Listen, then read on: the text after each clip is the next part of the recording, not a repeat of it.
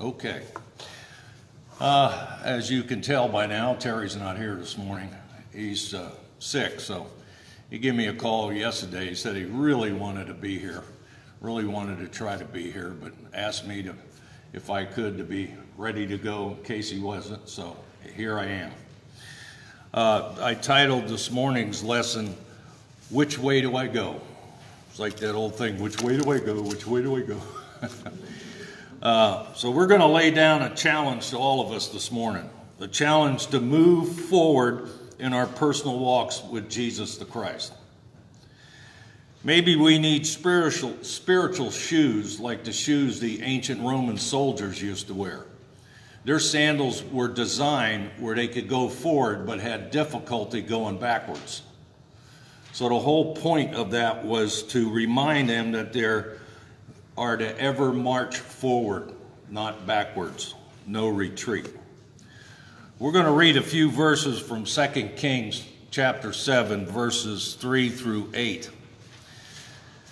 Uh, now, I have to be careful with this because it goes back a ways. I'm going to be talking a little bit, we're going to be talking about lepers. Uh, several years ago, I was doing an outdoor devotional at Parkman Road. And while I was doing the devotional, all of a sudden, almost everybody started laughing. Felice rolled off her chair. And while I just kept going like a trooper, and I'm trying to figure out what everybody was laughing about. I looked around, there was nothing going on behind me. Was there something about my dress I didn't know about? And then I realized instead of using the word everywhere, I instead of saying lepers, I said leapers. So I'm going to try not to do that this morning.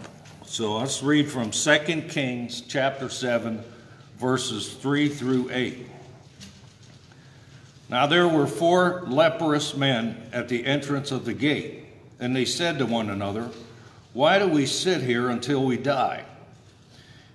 If we say we will enter the city, then the famine is in the city, and we shall die there. And if we sit here, we die also. Now therefore, come and let us go over to the camp of the Arameans. If they spare us, we shall live, and if they kill us, we shall but die. And they arose and at twilight to go to the camp of the Arameans. When they came to the outskirts of the camp of the Arameans, behold, there was no one there. For the Lord had caused the army of the Arameans to hear a sound of chariots and the sound of horses, even the sound of a great army, so that they said to one another, Behold, the king of Israel have hired against us the kings of the Hittites and the kings of the Egyptians to come upon us. Therefore they arose and fled in the twilight and left their tents and their horses and their donkeys, even the camp just as it was, and fled for their lives.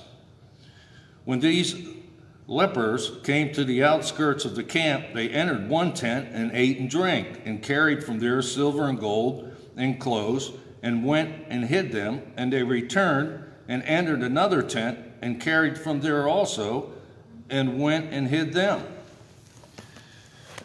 These few verses are not often referred to, and uh, they're like some people would say obscure, but they're not. I mean, everything we're given in the Bible is given us for a reason.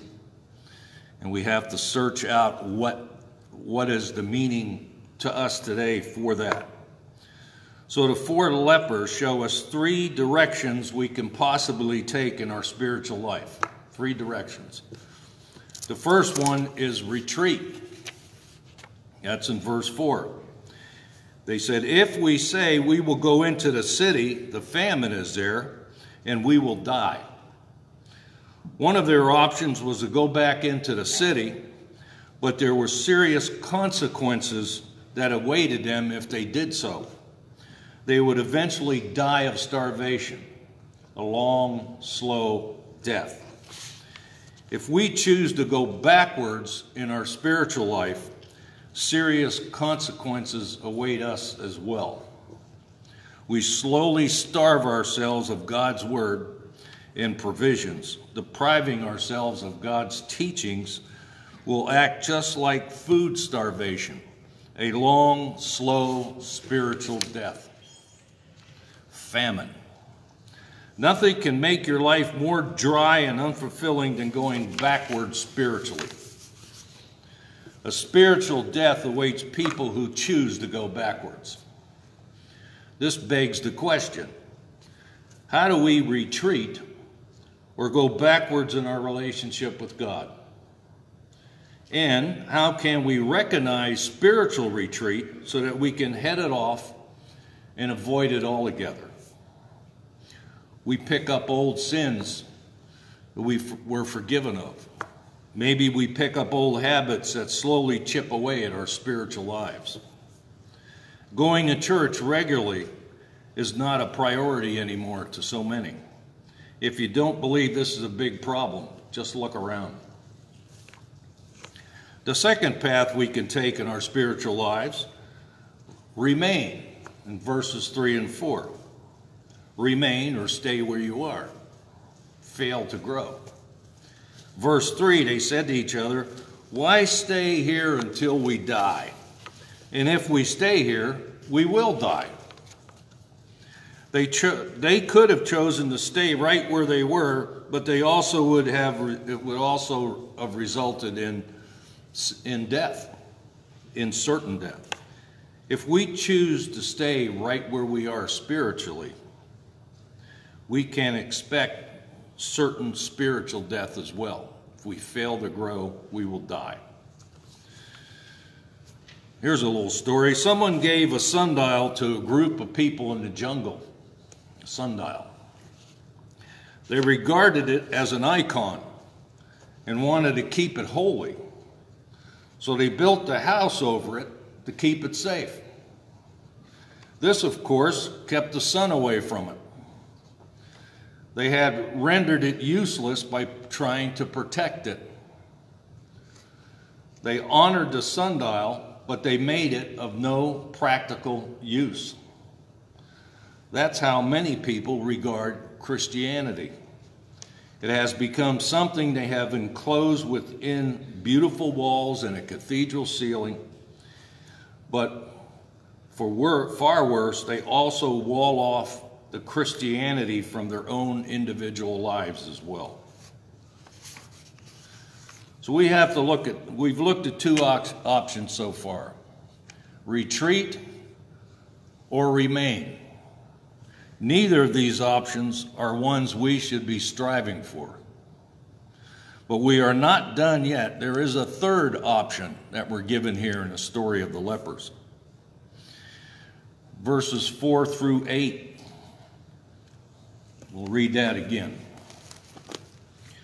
Verses 4 through 8. Okay. If we say we will enter the city, then a famine is in the city, and we shall die there. And if we sit here, we die also. Now therefore, come and let us go over to the camp of the Arameans. If they spare us, we shall live. If they kill us, we shall but die. And they arose in twilight and went into the camp to Arameans. And, you know, we read all out to the outskirts. They were trying to weigh what, the, what they should be doing. They, they elected to go to the camp of the Arameans. So they elected to run. They elected to move, not retreat, and not just remain where they're at. They took a chance. They took a step of faith. The lepers decided to take a chance and proceed to the camp of the Arameans. What will we find if we take a chance? And proceed and move on our spiritual lives. Not to be comfortable where we're at, but always moving forward, always growing. We receive security, we find in verses 5 and 7 of this chapter. The lepers weren't sure what the future would hold when they took the action they did. They weren't sure what was going to happen. But God intervened. God provided for them abundantly because they took that step in faith. God provided for them. It was a, here's a, another little story. It was a dark and stormy night when a lady on a boat crossing Lake Michigan, the lightning, the thunder, and rain made her very nervous. If you ever been out on a boat during a storm, you could understand that. She saw jagged rocks jutting above the surface of the lake as the waves broke across them. In fear, she asked the captain, Do you know where all the rocks are out there in the lake? No, the captain said. I don't, but I do know where it is safe. As all of us sail through life, we're going to see lots of rocks out there. Some will know how to avoid. It'll be obvious. Others, it's not that obvious. Others will come upon us as a surprise. The important thing to know is where it is safe. Jesus knows the safe way. Follow him. The good news God will keep us safe and secure and watch over us if we decide to grow in our faith and take that spiritual walk. I have another illustration. This is entitled A Touch of His Presence. It is said that Eastern shepherd, shepherds, as it, it is said that the Eastern shepherd, as he brings his sheep back to the fold each night, stands at the door and counts each one. As he does, he puts his hand on the head of each animal. He makes a habit of touching each one of them. If he were to grow careless and neglect to habitually touch his sheep, it would soon turn its head away when it heard his voice. This, of course, could be very serious. For with such a broken habit would follow the animals actually ignoring the warning shout from the shepherd and subsequently could be disastrous for the sheep. If we are experiencing the shepherd's touch daily in our lives, then we will recognize his voice when he warns of impending danger. This will mean practicing his presence daily. If we do not practice his presence, then we have probably practiced the presence of our enemy. Our Lord awaits the moment to touch our day each day of our lives. It's a pretty nice quote.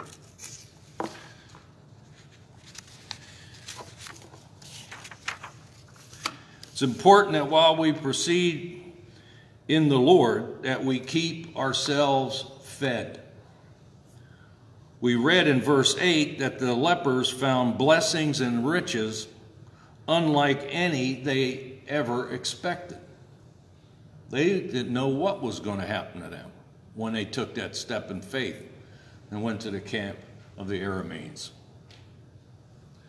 But God provided for them, abundantly so.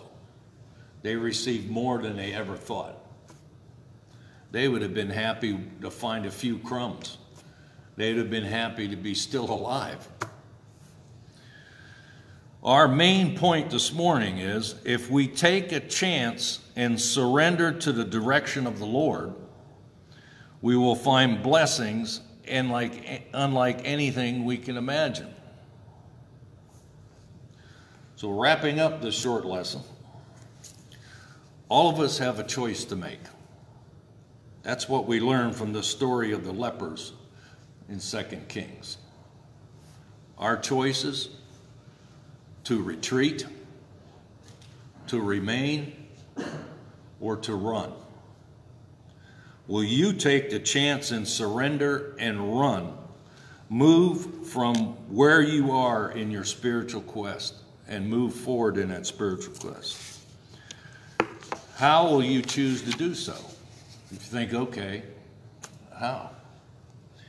We do that in our prayer life, studying the Word of God, in our giving, and in our witnessing. Find a place, a niche to respond to the Lord this morning and make your unique move to where God wants you to be. If you retreat, you will never come to know the true grace that God wants to bestow upon you, what He wants for your life. If you remain where you are spiritually, You will have stymied, your growth and your potential. You'll be like a bonsai tree. They look real good, but they never experience their true potential. Or you can run into the arms of Jesus and the Father. They will provide and provide abundantly. All of us need to accept the fact that only the Lord can cause us to grow spiritually. Which way do I go? It's up to each one of us to decide. Do we retreat? Do we remain? Or do we, by faith, run with the Lord? To anyone here this morning who has yet to accept Jesus Christ as their Lord and Savior, now is your opportunity. Brian is about to lead us in a song of invitation. That's your opportunity to accept the Lord as your Lord and your Savior, be baptized for the forgiveness of your sins, and start your walk running with the Lord. Thank you.